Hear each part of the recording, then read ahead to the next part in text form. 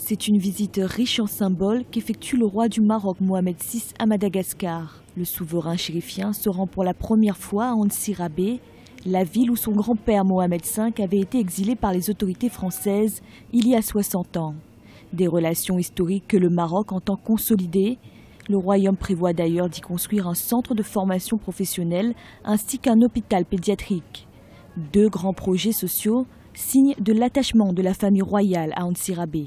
C'est un pèlerinage euh, sur un, lieu de déportation de, son grand-père, euh, Mohamed V, et euh, c'est une manière aussi de, rappeler cette période particulière de, l'histoire du, Maroc. Donc la, monarchie, il y a une symbolique autour de la monarchie, et puis il y, a une volonté aussi euh, de marquer les esprits parce que la délégation euh, marocaine euh, qui l'accompagne dans, dans, ce voyage est, importante.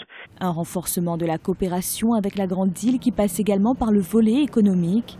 Ce lundi 21 novembre, 22 accords ont été signés entre les deux pays dans plusieurs secteurs, tels que l'agriculture et les banques. Des conventions ont par ailleurs été conclues entre des entreprises marocaines et malgaches.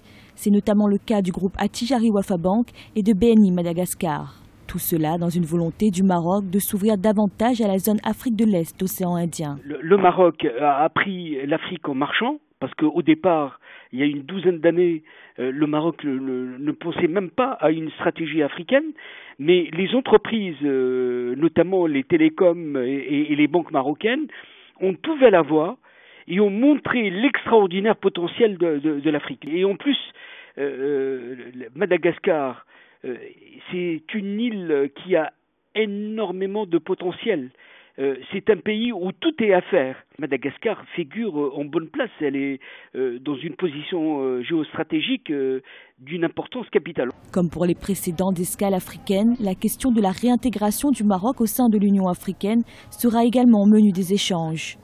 Au sommet de l'organisation continentale à Kigali en juillet 2016, le président malgache R. Pianine avait d'ailleurs apporté son soutien au retour du royaume chérifien.